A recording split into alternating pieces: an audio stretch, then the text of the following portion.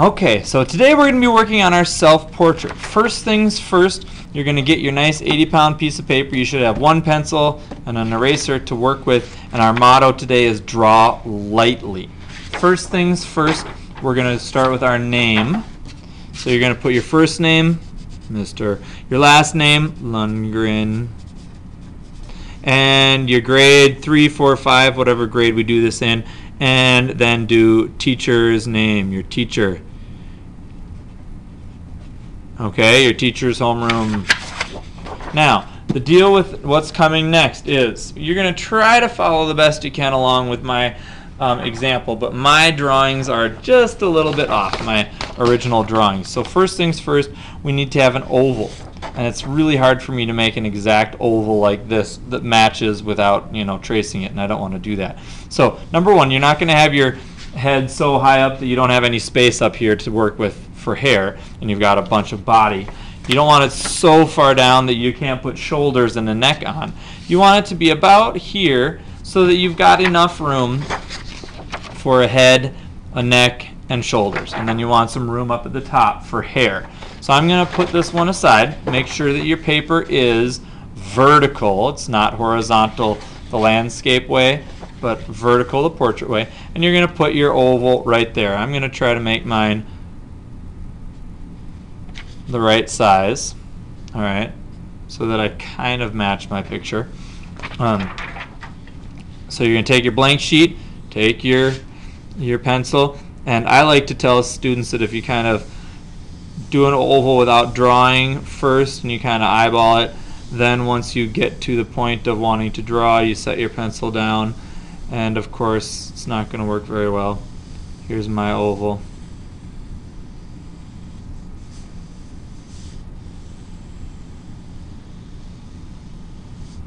Okay, now I've got one line that I want to keep, and the rest of this I'm going to try to erase away. This line is way too big. Why I changed it. And that's kind of a pretty reasonable oval. To clean up these edges just a little bit. And remember your oval should be wider at the top and a little thinner down at the bottom because your chin is going to be a little bit thinner than the top of your head. Now, once you've got your oval, we're going to move on. And remember, our motto is draw lightly because we're going to be erasing a lot of our guidelines that we end up making. So there's my oval. It's pretty close. Not perfect. It's just a little bit on the large side. But that's going to have to do. Okay. The next part that we're going to do here is we are going to do our cross guidelines like this. We're going to have a line halfway in the middle from side to side and halfway in the middle from top to bottom. If you measure it with your fingers, you should be able to come up with a half and a half. So we're going to kind of estimate with our eyeball. I think this is about halfway from side to side. I'm going to draw a very light line because I want to be able to erase it later. Then I'm going to kind of estimate about halfway, looks like about here and I'm going to draw a light line halfway. And if we measure it it should be the same okay? This is a little bit off. Gonna make my line right there my halfway line. And erase this one. So it's right in half. And now let's measure this side to side side to side. Good so you should have a halfway line. It's kind of hard to see mine there so I'm gonna make it a little bit darker but I want yours to be very light you should just barely be able to see them. Okay, can you see mine? Good, there they are. So there's our halfway lines, and here's my traced copy again. It should look something like that. Now we're going to move on to the, the nose and mouth guidelines. Okay, and they should be something like this. You should have this space here divided almost in half, one here, one here. So you've got half and half. And then this space between the nose and the chin, I like to do in half or in thirds. I have it here drawn in half. It should be, I mean, in reality, this line where your mouth, the middle of your mouth is, should be just a little bit higher. But for um, this tracing, I kind of traced it wrong. So number one, you're going to take this space, you're going to divide it in half. I think my halfway line is about there. Let's check. Use your fingers to kind of estimate. That's about right. It's a little lower. So that's the bottom of my nose right there. Okay, this is the bottom of my nose. If I measure from this center line to there, it should be exactly the same. Then from the bottom of your nose to your chin, if you divide that into about thirds or about half, one, two, and a little bit more, that's about where your mouth should be. So I'm going to make a nice long line for my mouth just so we know which is which. Okay, so this is your nose, this is your mouth. You should have it laid out something like that. Next step, we're going to do the eyes. The eyes are very difficult, my friends. And so if this is what we're looking at, this is the eye. You should have about five eyes from one side of your head to the other side of your head. Okay, and if we take this right now and I kind of draw underneath here, um, you're going to first things first divide your picture into four sections. You're going to have one, two, three, four, looking at the blue lines and the blue numbers. Start by dividing, by using your center line here. Okay, here's my center line. And dividing from this side to there in half. Okay, so from here to here, you're going to divide it in about half. Okay, and if I use my fingers to measure that, that's right. So you've got your thing divided in half on one side, and you're going to again divide it in half on the other side. Okay, so you've got one, two, three, four spaces, just like we have it here. Okay, now we're going to take that space from the center to this halfway point, and we're going to measure that. You can measure it with your fingers. Okay, you're going to use that, and that is about the size of your eye. You should have five eyes. One in the center, the middle eye, one to the left, one to the right, and then you're going to have a little bit of extra on either side. So if you do that, you're going to take this space, you're going to move it so the center line is right in the middle of it, and you're going to kind of mark it, mark where your fingers are, and you're going to draw a line there. I'm going to make mine longer so you can see them. So there's my middle eye. Now I'm going to start at the edge of my middle eye. I'm going to measure this part.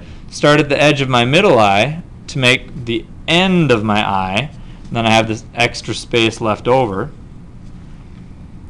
Then I'm going to measure that again and move over to the other side and measure it. And then I have my right eye. Now if I take these center ones and I erase them to kind of get things a little less confusing, I erase the numbers so it's a little less confusing. You should have five spaces.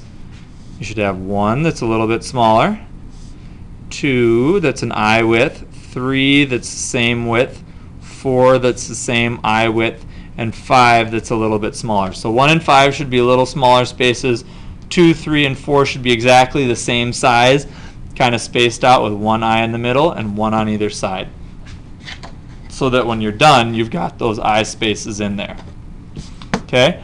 Next, we gotta we have to draw the eyes. Now this part I left out from the diagram because it's really um, kind of hard to draw eyes within a diagram. So here we go. I'm going to erase these leftover numbers because we don't want them there. They're just going to confuse us later.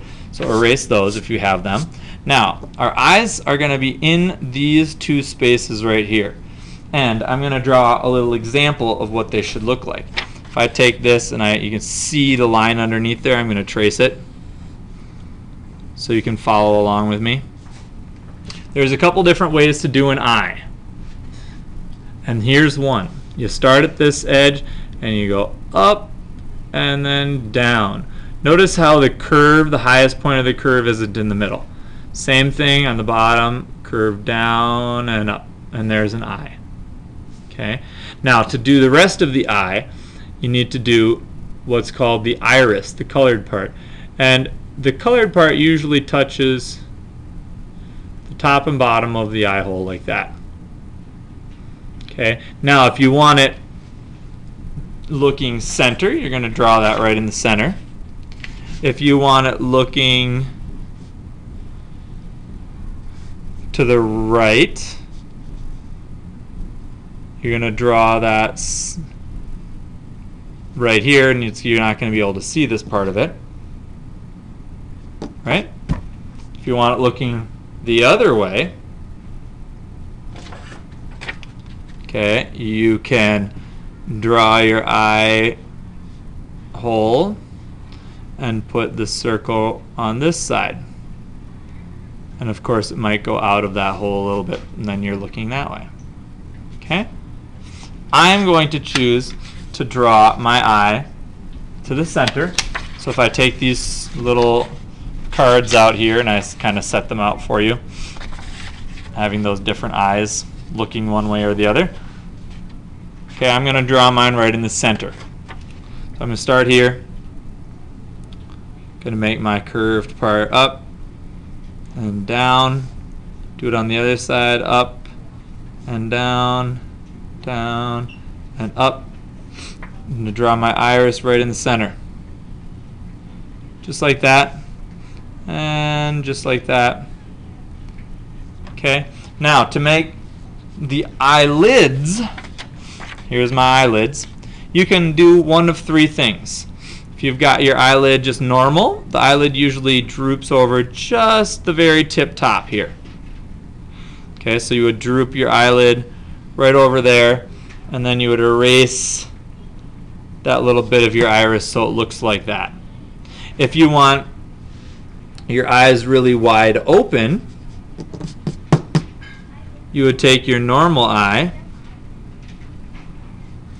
and raise your eye up like this and erase it. And then what it is, your iris looks, or your iris part looks small and your eye is wide open. Like, wow, surprised. Okay. So depending on which one you want, you want your eye open or closed. Okay. I, I'm going to make my normal. I'm going to start here and just do a normal line right over the top. And erase this iris part. I'm going to do my line right over the iris and erase that iris part. Okay, so then I've got my iris stopping there right at my eyelid.